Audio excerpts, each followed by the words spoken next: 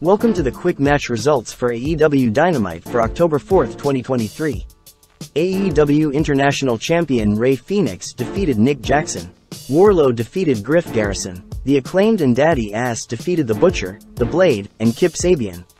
Chris Jericho and Kenny Omega defeated Kyle Fletcher and Konosuke Takeshita. Timeless, Toni Storm defeated Sky Blue. Remember for all the story beats and breakdown of matches for Raw, Dynamite, SmackDown, Rampage, and Collision, the weekly Roundup podcast will be live on the Value of Wrestling YouTube channel, Sunday afternoon at 12 p.m. Pacific Standard Time.